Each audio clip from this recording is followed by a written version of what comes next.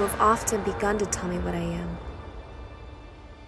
but stopped and left me to a bootless inquisition.